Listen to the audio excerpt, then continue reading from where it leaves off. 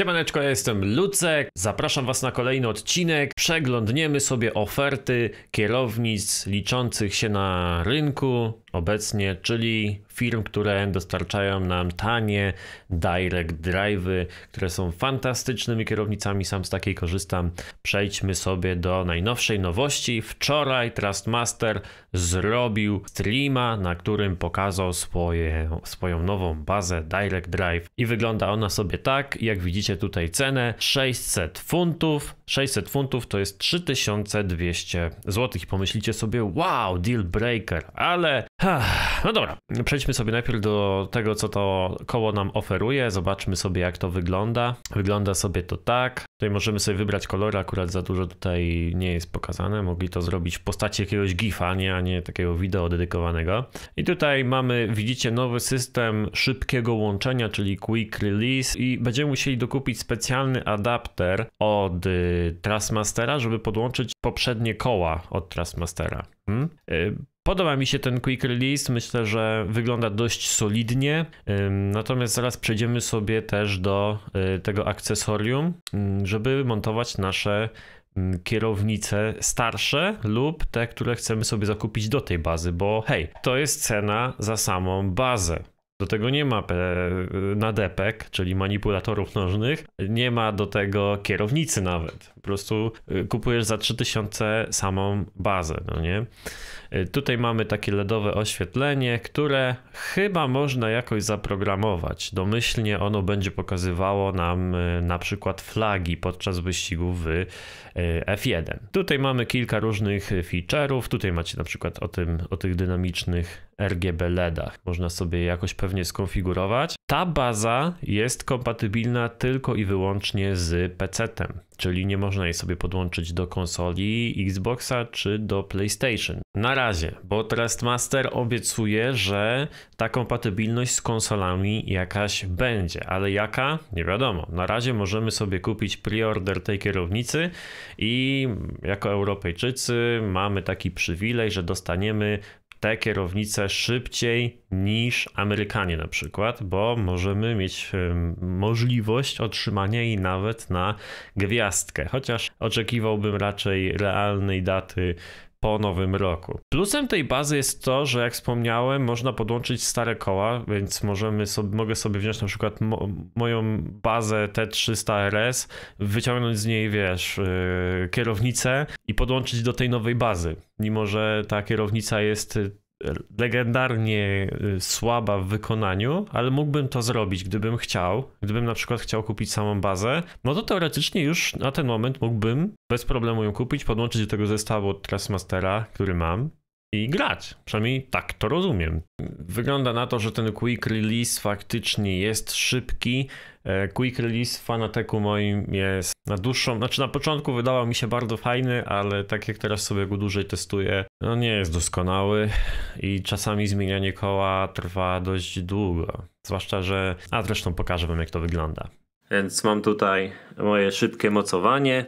No i teoretycznie mogę sobie to pyk w tą stronę zaciągnąć i mogę całe koło wyciągnąć, ale nie, bo muszę mieć wkręconą tutaj taką śrubkę, żeby mi yy, kierownica nie biła.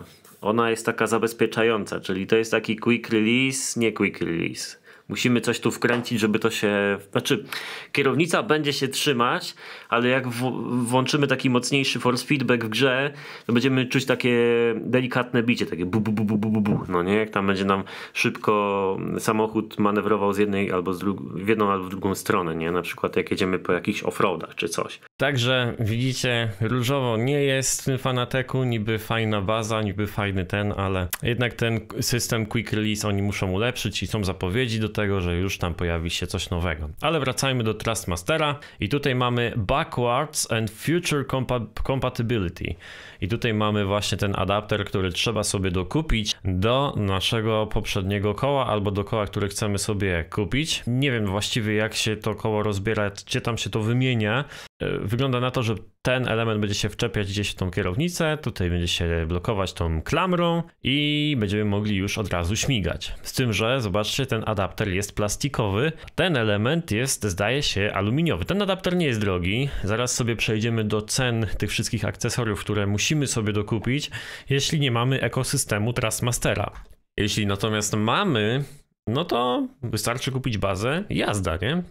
W sumie spoko opcja. O, tutaj mamy taki przycisk konfiguruj i możemy sobie skonfigurować nasz cały zestaw. I jak widzicie mamy tutaj kierownice, które możemy dostosować, dobrać do tego zestawu. Najtańszą jest oczywiście ta Leather Edition, której Nikomu nie polecam. Naprawdę warto dopłacić te dodatkowe 20 funtów. Do tej na przykład kierownicy będzie dużo lepsza, ale tak dużo lepsza. Fest. Warto to zrobić. Ewentualnie możecie jeszcze kupić sobie tą. Ta wygląda dość dobrze. Chyba jest, tak, tutaj jest Alcantara Edition. Wydaje mi się, że będzie dużo lepiej wykonana niż ta. Naprawdę, uwierzcie mi warto to dopłacić na dłuższą metę. Więc no, załóżmy, że wybierzemy sobie taką, bo ona będzie fajna i do driftu, i do wyścigów, powiedzmy i możemy sobie tu na depki wybrać. No, wybierzmy sobie na przykład te, no nie, one nie są. Tu, tutaj mamy akurat wersję ze sprzęgłem, także automatycznie będziemy mogli używać tego sprzęgła, ale no właśnie, musimy dokupić też, żeby używać hashiftera, musimy dokupić hashifter i te akcesoria od Trustmastera są drogie, dosyć. Tak stosunkowo do bazy i tych kierownic, to zobaczcie, y, sam ten shifter, który umówmy się, nie jest jakiś fantastyczny. Ja go używałem przez dłuższy czas i myślę, że cena do jakości nie jest adekwatna.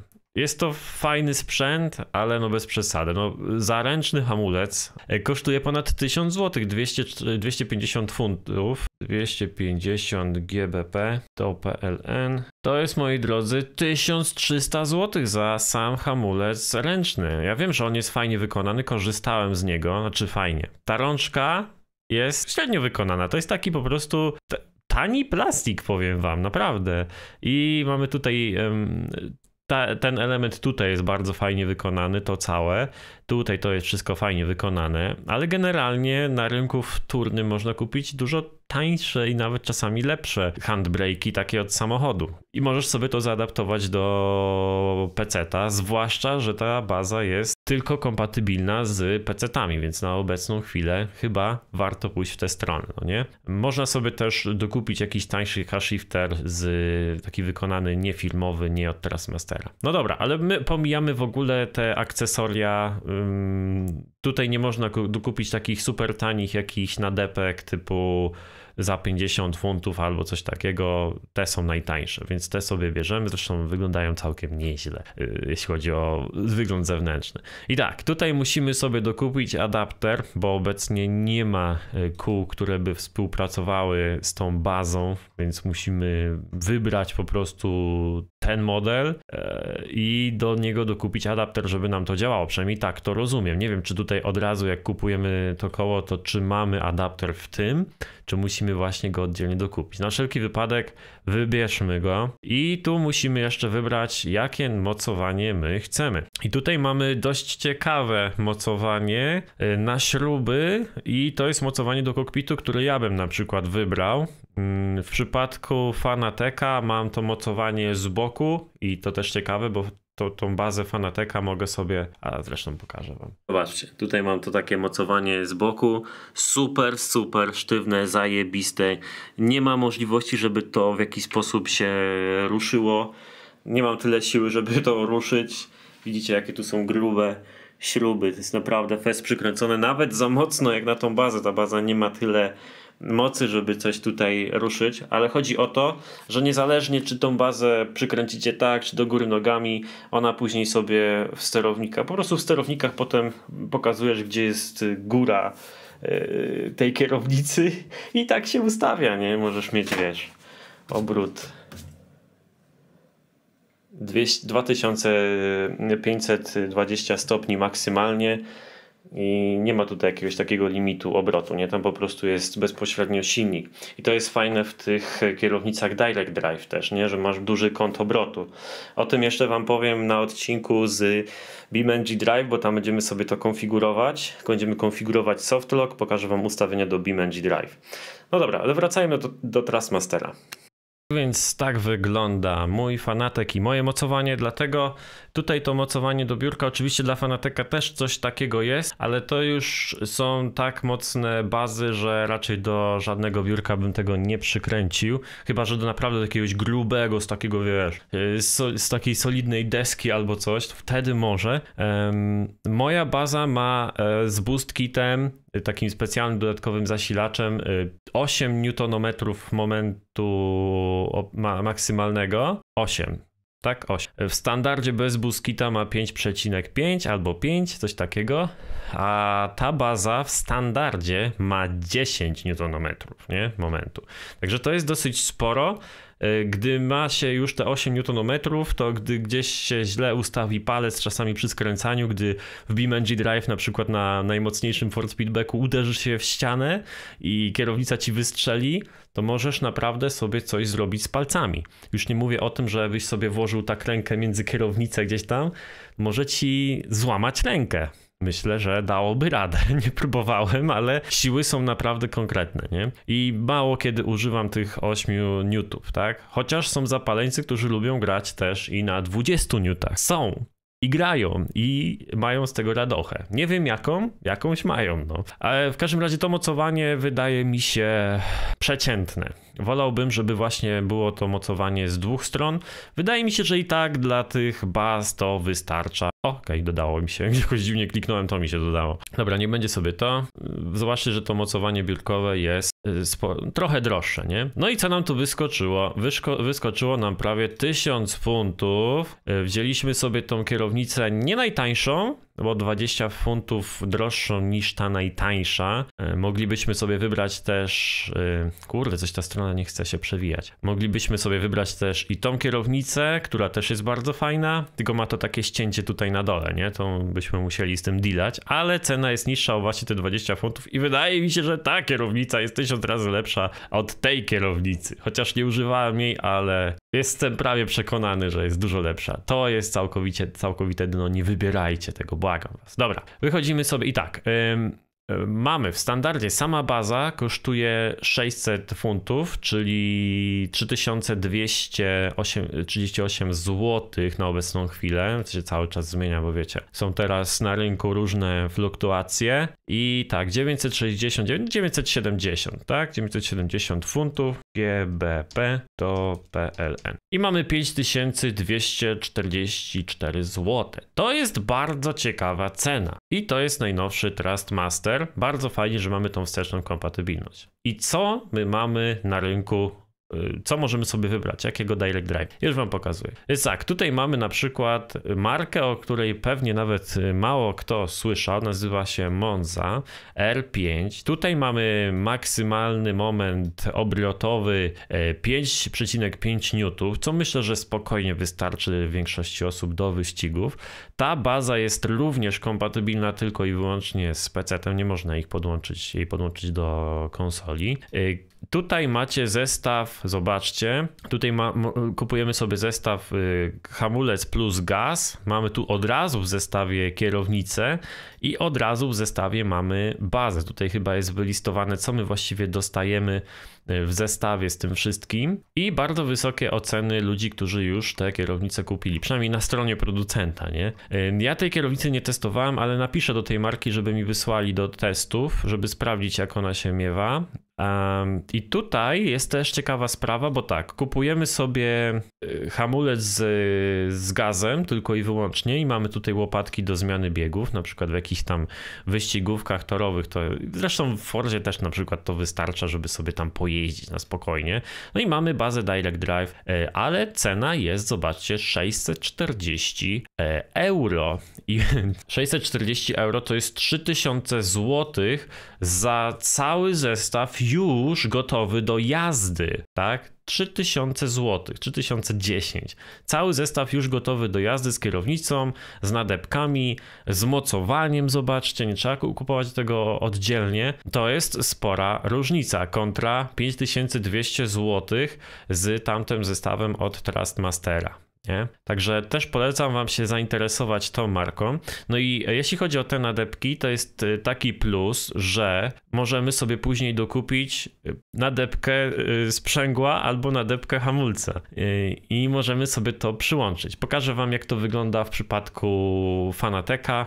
Tutaj jest ten sam system, czyli możemy sobie kupić najtańsze, to są najtańsze od, od Fanateka nadepki, jakie są obecnie dostępne. I jak sobie je kupujesz bez yy, sprzęgła, to tak naprawdę to sprzęgło jest wtedy hamulcem. Tutaj mamy taką małą gąbkę, którą trzeba wyciągnąć. Ja ją teraz mam wyciągniętą. E, a to musimy sobie dokupić oddzielnie. I wtedy mamy e, tą nadepkę i tą nadepkę jakby bliżej, a tego nie mamy w ogóle. I to trzeba dokupić oddzielnie, no nie? Tak samo jest właśnie w tym systemie Monca. Zresztą e, w poprzednich moich nadepkach też miałem dokładnie to samo. To można bez problemu sobie tutaj odkręcić. Widzicie? Zresztą bardzo solidnie wykonane to jest. Będę sprzedawał y, te nadepki razem z moją poprzednią bazą, ale o tym jeszcze y, nagram jakieś tam, albo na, na Instagramie pewnie wstawię info o tym kiedy, co i jak. W każdym razie tak to tutaj wygląda. No i ten system tak samo działa w tych innych bazach. Okej, okay, także polecam Wam się zainteresować też e, tą marką. Bardzo fajna. Z tego co wiem, chyba Yoji miał ją testować. O tak, Yoji miał testować, właśnie wylądowało u niego wideo i robi tutaj teścik, że jestem bardzo ciekawy po nagrywaniu tego wideo obejrzę sobie jego teścik. Zobaczcie, tutaj mamy quick release, oj wygląda to naprawdę sweet. Wygląda to naprawdę sweet i tutaj mamy, a od razu, o kurde, mają swój dedykowany nawet ekranik, nice. To pewnie jakiś taki bogatszy zestaw sobie tutaj od nich dostał, ale jak sterowniki wyglądają. Ty, kurde, fajny layout nawet. Wygląda lepiej jak fanatyk ziomek. Kurde, Jodzi nagrywa z kamerką, ja pierdzielę. Aha, tutaj porównuję, o właśnie, tutaj mamy takie fajne porównanie e, tego poprzedniego fanateka DD, nie DD Pro, tylko DD do Moncy, także Monca jest no, mniejszą bazą, nie? Fanatyk może trochę więcej mocy wygenerować z Boost Kita. Nie wiem, czy Boost Kit jest do, e, do Moncy, czy Moncy, nie wiem jak się czyta. Gdzieś widziałem, że mi śmignęło, że miał taki zamiar, także mam nadzieję, że u niego się pojawi jakiś teścik tego zestawu, o ile już się nie pojawił. No i dalej przechodzimy do e, Fanateka, którego bazy wyprzedają się w ekspresowym tempie. Nie dziwię się, bo naprawdę jest to fajna rzecz. Zwłaszcza, że słuchajcie, ta baza, która kosztuje 700 euro, 700 euro to jest 700 euro to PLN. To jest 3300 zł, czyli o 300 zł więcej niż Monza, ale ta baza z kolei jest kompatybilna z PC-tem, z PlayStation 5, z Xboxem Series X. Trzy platformy masz załatwione tą bazą.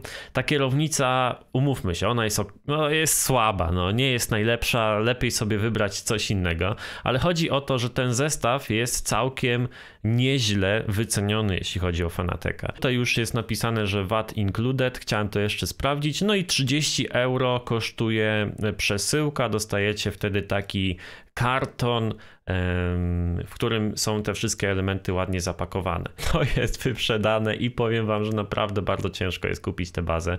Ona jest mega fajna, ale zauważyłem, ma pewien minus, Tutaj widzicie te konektory. Jak się wsadza e, w to gniazdo, to te, te, ta wtyczka jest mega, mega luźna i zdarza się czasami, że po dłuższej jeździe są tam jakieś mini wibracje, to, to z tego gniazda ten pin potrafi mi wypaść. I trzeba użyć jakiejś karteczki albo kartonika, żeby wsadzić w to i żeby to się trzymało w miarę sztywno. Serio. To jest naprawdę fajny sprzęt, ale ma jedną taką wadę konstrukcyjną, która mi się nie podoba. No i tak, i tutaj macie tą sytuację, tą samą sytuację co w przypadku bazy Monca, czyli macie zestaw hamulec plus gaz i też możecie sobie później, na przykład za pół roku dokupić dodatkowo jeszcze sprzęgło, e, albo na przykład dokupić hamulec i używać jedne, jedną z tych nadepek jako e, sprzęgła, nie? To jest bardzo fajna sprawa. Ja lubię akurat tą bazę, nie zamieniłbym ją na żadnej, żadną inną, także wam zdecydowanie polecam Fanateka, tylko ustrzelić jest to bardzo ciężko. No i teraz przechodzimy sobie do, może zanim przejdziemy do Kamusa, zerknijmy sobie jeszcze, co nam oferuje Logitech. Logitech, jak się okazuje, całkiem niedawno temu, gdzieś chyba nawet ze 2-3 tygodnie temu, opublikował swoją nową kierownicę, swoją nową bazę z systemem Quick Release. Widzicie, też mają swój autorski jakiś system Quick Release. Mamy tutaj od razu klemę, żeby podłączyć kierownicę, ale co się dzieje? Mamy tu 5100 zł, czyli to jest jakieś 1000 euro. Musimy zapłacić za samą bazę z kierownicą, co prawda, ale bez nadepek. Nadepki musimy sobie dokupić oddzielnie za 1800 zł, czyli do tej ceny 5100 zł musimy dodać 1800 zł, co daje nam 6900 zł. Tutaj sobie wybieramy platformę, na której chcemy grać i mamy 11 newtów siły. To jest więcej niż Trustmaster oferuje. No jestem ciekawy jak to działa, powiem szczerze. Tutaj widzimy, że mamy jakiś ekranik, który pokazuje nam jak, na, jak manipulujemy nadepkami, diody sygnalizujące obroty, ale znowu mocowanie mamy tylko od dołu, widać, że jest tylko od dołu, z boku nie możemy sobie podłączyć tak jak na przykład u mnie, no nie? E, to nie jest duży problem, myślę, że da się to normalnie e, przyczepić do stanowiska. Tutaj widzę, że jest nawet jakieś mocowanie, nie wiem na jakiej zasadzie ono działa, czy faktycznie da się odczepić tą klemę tutaj od dołu i te rzeczy. Myślę, że tak, no już to jest na tyle duża moc, że powinny być tam jakieś, wiesz, mocowania, żeby to na śruby przyczepić. W każdym razie nie miałem tej bazy, nie testowałem, też bym chciał ją przetestować dla Was. To kosztuje dużo. Także Logitech tutaj moim zdaniem trochę odpłynął z tą ceną, ale z drugiej strony, zobacz, klikasz sobie kup teraz, klikasz sobie kup, aha, wybierz styl, ok.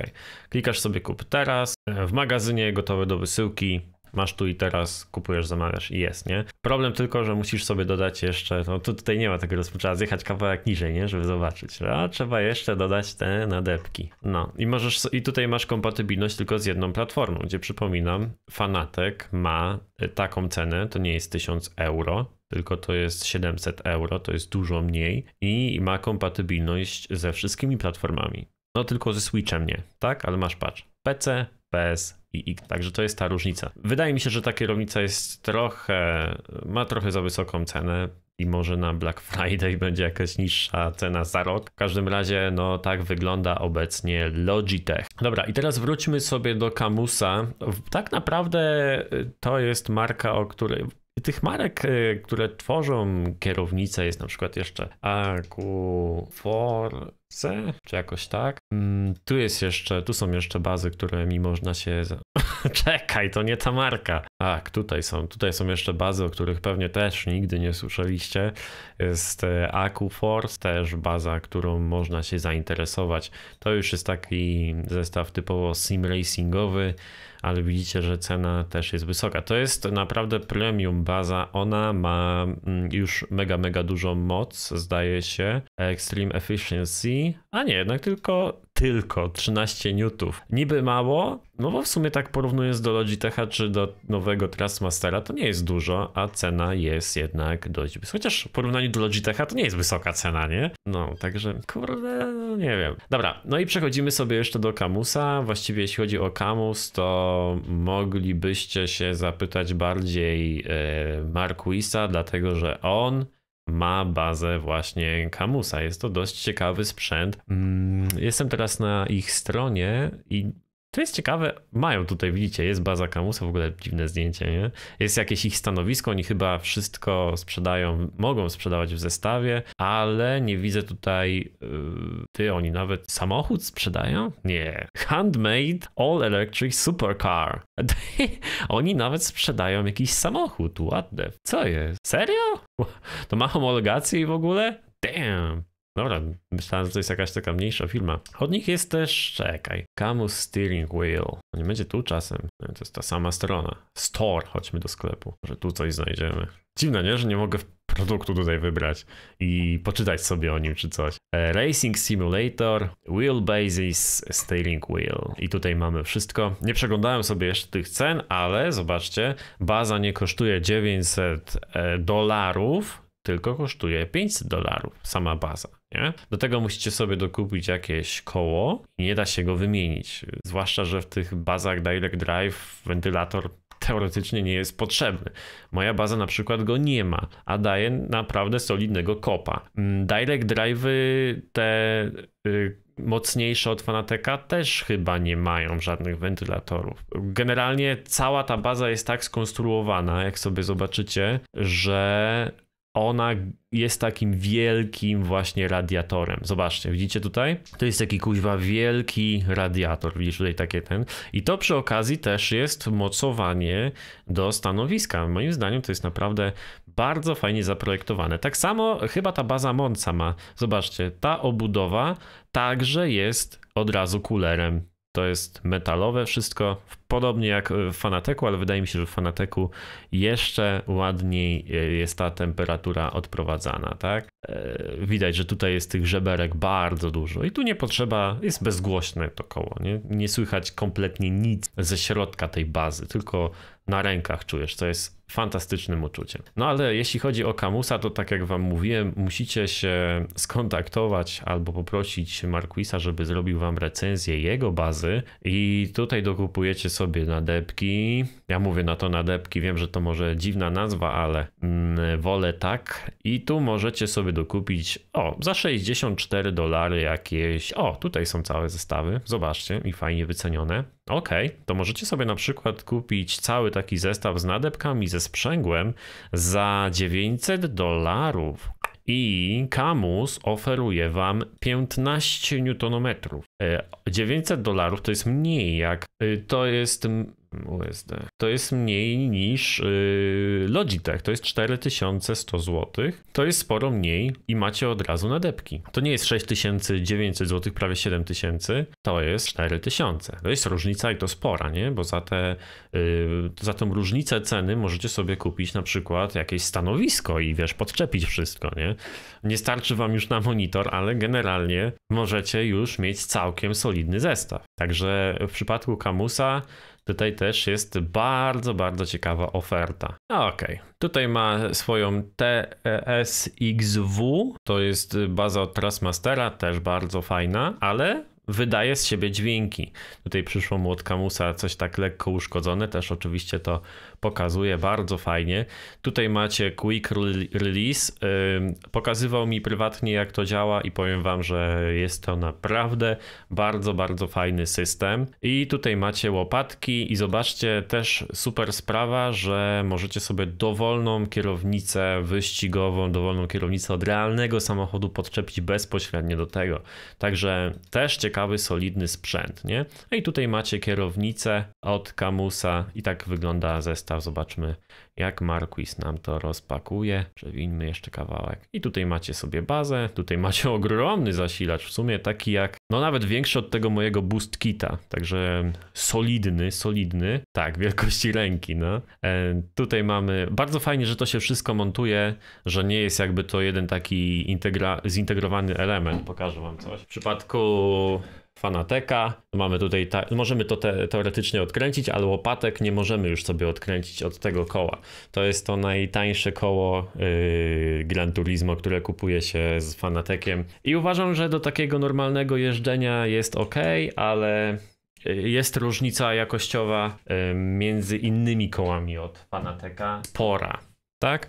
No i tak wygląda ta baza. Możecie sobie obejrzeć cały ten materiał y, u Marquisa pokazuje wszystko krok po kroku, jak sobie montuje, jak sobie dostosowuje swoje stanowisko, a uwierzcie mi, ja wam nie pokazałem, jak składałem swoje stanowisko, jest też u mnie film y, ze składaniem, ale nie pokazywałem wam 70% właśnie takich rzeczy, które pokazuje wam Marquis, dlatego, że o, na przykład zbieranie opiłek, to też jest patent dobry.